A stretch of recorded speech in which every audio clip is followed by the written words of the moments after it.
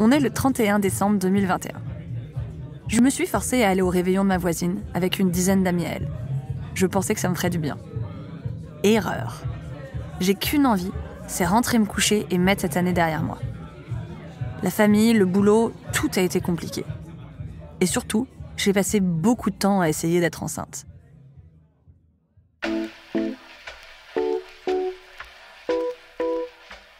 En tant que personne asexuelle et éternelle célibataire, je savais que ce serait pas facile. J'ai tout essayé. Faire famille avec un ami, avant qu'il ne change d'avis entre deux inséminations artisanales. Demander son sperme à un pote, trop compliqué finalement pour plein de raisons logistiques. Et faire une PMA avec l'aide d'un gynéco parisien et d'une banque de sperme danoise. Ça, ça a fonctionné.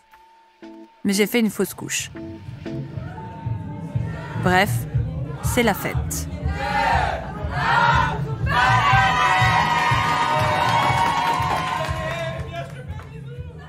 Alors que je reprends un toast au houmous, quelque chose m'arrête. Tout à coup, c'est comme si mon odorat était décuplé.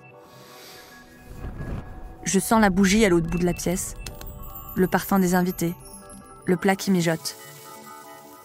Et puis, je rêve ou mes seins me font mal?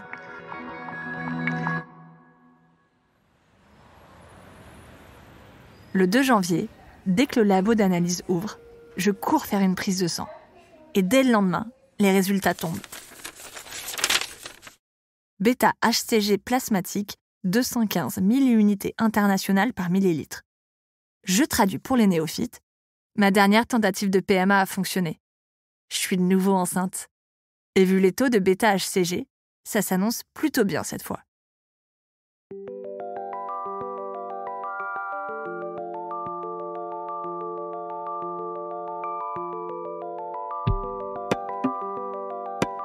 C'est un énorme soulagement. Les prises de sang, les piqûres d'hormones, le suivi de l'ovulation. Je vais enfin pouvoir mettre tout ça derrière moi. Mais je suis vite assaillie par des milliers de questions. Rien d'anormal, vous me direz, pour un futur parent. Mais il y a une question en particulier qui m'obsède et à laquelle j'arrive pas à trouver de réponse. Comment je vais faire pour protéger mon futur enfant des stéréotypes de genre? Je suis Aline Laurent Maillard et vous écoutez Bienvenue bébé.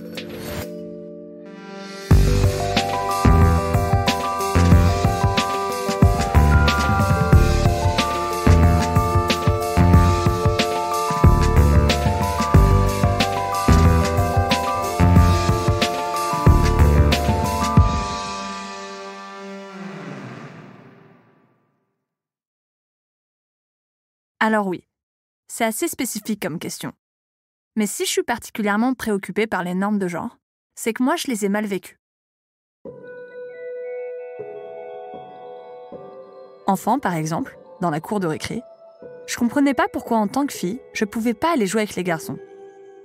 Ado, j'ai jamais réussi à ressembler à ce qu'on attendait de moi. Une jeune fille pudique et avenante qui s'intéresse aux garçons. J'ai été harcelée, isolée. Et jeune adulte, c'était toujours aussi compliqué. Je me pensais seule au monde dans ma bizarrerie. J'étais en colère, perdue, fatiguée. Depuis, j'ai découvert le concept de non-binarité. Et j'ai compris qu'en fait, je m'étais jamais sentie fille. Aujourd'hui, je m'identifie donc comme non-binaire, c'est-à-dire que je ne me reconnais pas dans les catégories femme ou homme. Et je sais que j'aurais eu moins de mal à accepter ma différence si j'avais eu des adultes à l'écoute, des modèles, et des connaissances sur le fonctionnement du genre. Alors j'ai envie d'offrir ça à mon futur enfant. Je veux que mon enfant se sente libre d'être qui il souhaite, au-delà des cases fille-garçon.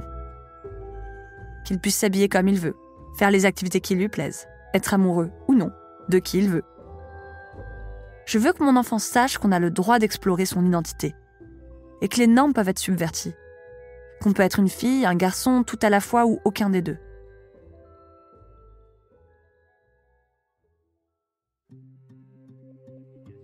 Si je m'inquiète autant, c'est aussi parce que je sais que forcer les enfants à entrer dans ces cases nous coûte collectivement. d'Inter, le Haut Conseil à l'égalité publie son cinquième rapport sur le sexisme en France, rapport qui sera remis mercredi au président de la République. Je cite l'introduction, le sexisme ne recule pas en France, au contraire, certaines de ces manifestations les plus violentes s'aggravent et les jeunes générations sont les plus touchées. La situation est alarmante. Depuis plusieurs années, en tant que journaliste et autrice, je m'intéresse à ce coup du genre. J'ai écrit deux livres sur le sujet, dans lesquels je me suis penchée sur la définition et l'histoire du genre, et aussi sur la façon dont les masculinités se construisent. J'en suis arrivée à la conclusion que réparer le système à grands coups de numéros verts et d'obligations paritaires ne suffit pas. Il faut s'attaquer à l'origine du problème, à l'apprentissage du genre. Car oui, le genre n'a rien d'évident. Contrairement au sexe, qui est une donnée biologique, le genre est une construction sociale. Quand on parle de genre, on parle à la fois d'un système, du fait de diviser et de hiérarchiser les individus selon les catégories femmes et hommes. Mais on parle aussi des représentations et des caractéristiques associées à ces deux catégories, au féminin et au masculin. Être femme, ce n'est pas une donnée naturelle, c'est le résultat d'une histoire. D'abord l'histoire de la civilisation, et d'autre part, c'est l'histoire de sa vie. Pour reprendre les mots de Simone de Beauvoir, on ne naît pas femme, on le devient. Et on commence à le devenir très très tôt. Autour de moi, je connais de nombreux parents qui font ce même constat. Malgré beaucoup de bonne volonté et d'efforts, leurs enfants sont immanquablement rattrapés par les stéréotypes de genre. Quand elles sont nées et qu'on a annoncé donc que c'était des filles, ça a été l'enfer des cadeaux roses. C'est pas que j'aime pas le rose, c'est qu'il n'y avait que du rose. C'était vraiment terrifiant. Aujourd'hui, euh, ben, j'ai une sorte de petit cliché à la maison, bien malgré moi, hein, puisque franchement c'est pas moi qui l'ai incité dans cette voie, mais euh, voilà, j'ai un petit garçon euh, qui joue à Pokémon Go, qui aime le foot, qui arrête pas parler de la force et du fait d'être fort. Mais là, je vois déjà une demande, parfum pour fille, parfum pour garçon, je suis ah, bah, parfum qui sent bon. Dès que les enfants euh, commencent à marcher et qu'on peut commencer un peu à les identifier en fonction de leurs habits, tout de suite c'est ah bonjour, alors tu es un petit garçon, une petite fille, la question vient très très vite. Jusqu'à un certain âge, on s'en fout quoi. J'avais beau essayer de l'extirper, le reste du monde se chargeait pour moi de le ramener à la norme. Si ça avait été que moi et que j'avais vécu dans une société où euh, c'était acceptable, j'aurais rien dit en fait, on aurait resté planer le, le suspense. Qu'est-ce qui nous échappe? Comment est-ce qu'on pourrait faire mieux? Il y a quelques années, j'ai découvert que certains parents, surtout aux États-Unis et au Canada, faisaient le choix de ne pas assigner de genre à leurs enfants à la naissance. When our child Zoomer was born in 2016, my partner Brent and I decided to raise them without assigning a gender. Ces parents attendent que leurs enfants soient en âge d'affirmer eux-mêmes leur identité de genre. Ça arrive généralement vers 4-5 ans. Avant ça, ils ne dévoilent pas le sexe de leurs enfants et ils en parlent avec des termes non genrés. Zoomer knows who he is and understands that gender is not binary and that his body doesn't define his destiny. On appelle ça le gender creative parenting ou gender open parenting, la parentalité créative ou ouverte sur le genre. Je suis très séduite par cette démarche et je me suis demandé si c'était possible, dans la pratique, de faire ça en France. Si moi j'y arriverais, si j'arriverais à cacher le sexe de mon enfant pendant les premières années de sa vie, si j'arriverais à connaître son sexe et à en faire abstraction, à ne pas projeter d'attentes ou d'injonctions sexistes, et mes proches, et le personnel de la crèche.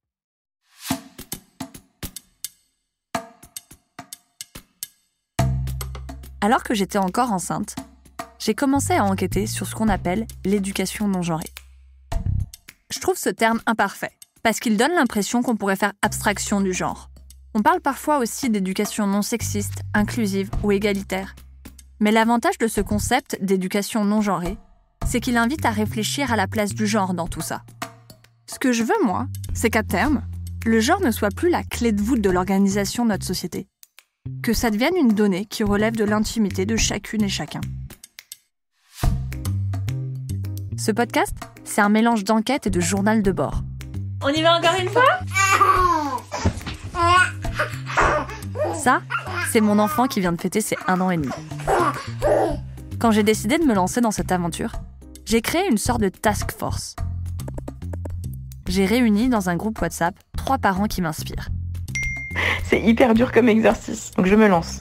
Renée Grezard, qui est journaliste et autrice. Elle a un enfant de 8 ans, Ulysse, et un autre de 5 mois, Orso, qu'elle vient d'avoir avec son nouveau partenaire. C'est une question très compliquée. J'ai l'impression de marcher sur des œufs depuis tout à l'heure. J'espère que ça n'était pas le cas. Et euh, bah, hâte d'entendre le reste des réponses. Bonne journée. Martin Page, qui est écrivain. Alors, bonjour à tout le monde. Il est non-binaire et vit en couple avec une femme, avec qui il a un enfant de 8 ans, Cyrus. Je sais pas si ça marche. Je suis désolé, hein, je découvre la, la technologie et, et WhatsApp. Et enfin, Gabrielle Richard, qui est sociologue. Bonjour tout le monde. Contente de reprendre contact après quelques jours. Elle est lesbienne et vit en couple avec une personne non-binaire. Ensemble, elles ont deux enfants. Zi, 13 ans, adopté au Québec, et R, 4 ans, que Gabrielle a porté. Moi, spontanément, en te lisant hier, je pensais à ce moment euh, avec mon aîné, donc je, je vous... Ensemble, on s'est posé plein de questions. Est-ce qu'il faut choisir un prénom non genré Comment est-ce qu'on choisit les vêtements? Quels mots on utilise pour leur présenter le monde? On a aussi parlé des livres, des jeux, de la crèche et de notre peur de marginaliser nos enfants. En parlant de nos enfants, C pour Cyrus, R pour Arsène et Fen pour Phoenix. eux aussi je les ai interrogés. As-tu aimé l'histoire? Oui, là j'ai faim. Là, t'as faim. On va regarder ce qu'on peut faire. Parce que De mieux en mieux. Le mec crotte quand on l'interview, quoi. J'y crois pas. Et puis en chemin, j'ai rencontré d'autres parents et d'autres enfants. En France, en Allemagne, en Suisse et aux États-Unis.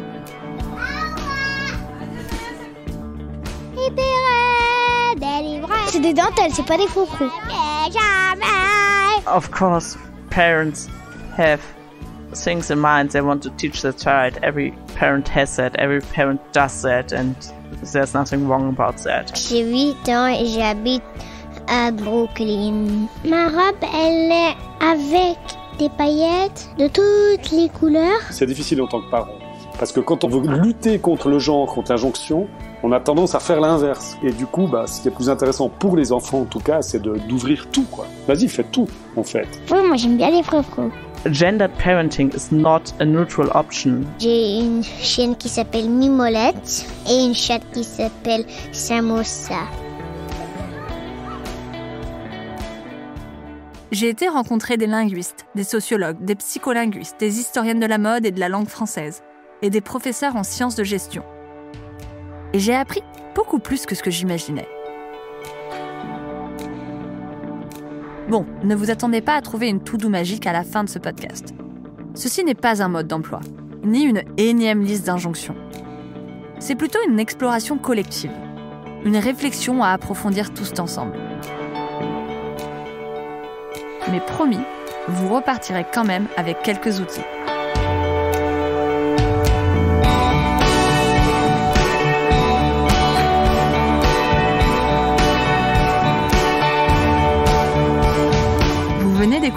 Bienvenue bébé. Si cet épisode vous a plu, n'hésitez pas à nous laisser des étoiles sur Apple Podcast ou sur Spotify. Vous pouvez dès maintenant écouter l'épisode 2 et vous abonner pour découvrir la suite de la série. Vous pouvez aussi retrouver en description tous les articles et livres mentionnés dans cet épisode. Bienvenue bébé est une série du podcast Le Journal, produit par Paradiso Média. Écrite et racontée par Aline Laurent-Maillard et produite par Suzanne Collin. Théo Albaric a monté, réalisé et mixé les épisodes.